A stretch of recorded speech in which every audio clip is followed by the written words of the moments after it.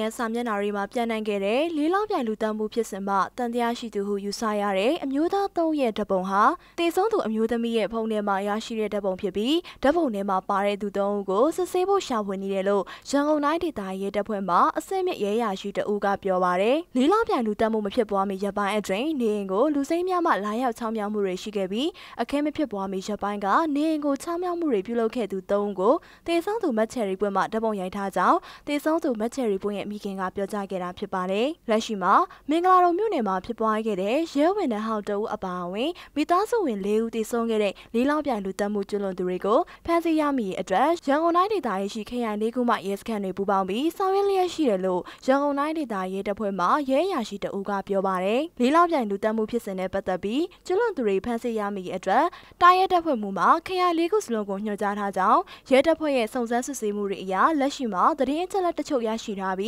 ရင်းအချက်လက်တွေကကျွလွန်သူတွေကိုဖမ်းဆီးရမည်အတွက်ရဲတပ်ဖွဲ့မှအမှုတပြင်းစုံစမ်းရှာဖွေလျက်ရှိတယ်လို့အဆိုပါရဲရာရှိမှပြောပါရယ်အဆိုပါလေးလောက်ပြန်လူတက်မှုကိုထောက်ချက်နေမီရဲစခန်းကပ903မြင်းဆောင်2010ကြောင့်ရစသက်ကြီးပုံမှန်300နှစ်နဲ့အမှုဖွင့်အရေးယူထားတယ်လို့လည်းသိရပါရယ်အဲ့ဒီလူတက်မှုဖြစ်စဉ်နဲ့ပတ်သက်ပြီးအမှုမှန်ပေါ်ပေါက်ရေးအတွက်တိုင်းဒေသကြီးခရိုင်အဆင့်ရဲတပ်ဖွဲ့နဲ့ CID တို့မှပူးပေါင်းစစ်ဆေးနေတယ်လို့ရန်ကုန်တိုင်းဒေသကြီးရဲတပ်ဖွဲ့မှရုံးမှသိရပါဗျ